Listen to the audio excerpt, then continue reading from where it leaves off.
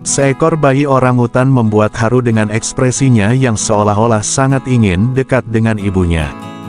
Bayi orangutan yang kehilangan induknya ini kurang semangat dan tarapan matanya kosong karena merindukan sang induk. Para petugas yang merawatnya selalu berusaha memberikan bantuan kepada bayi orangutan tersebut yang nampak merasakan kerinduan yang sangat dalam dengan induknya yang hilang.